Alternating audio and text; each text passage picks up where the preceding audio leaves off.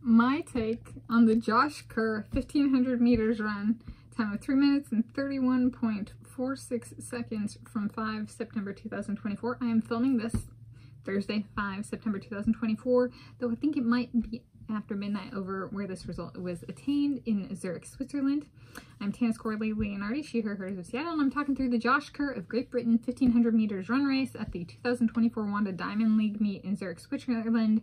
He went a time of 3 minutes and 31.46 seconds in the final on Thursday, 5 September 2024. With his time, he achieved fifth place.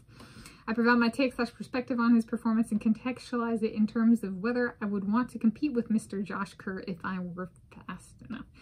Oh, the man is such, such an adorable and beautiful blue-blooded Scottish hamster. Uh, so yes.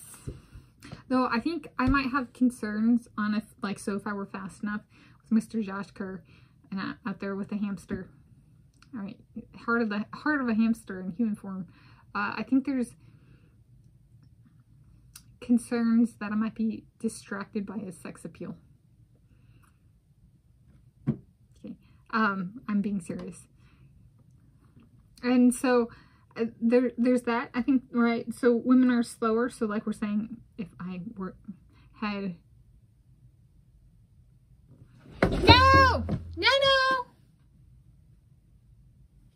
There's a hawk going after a squirrel.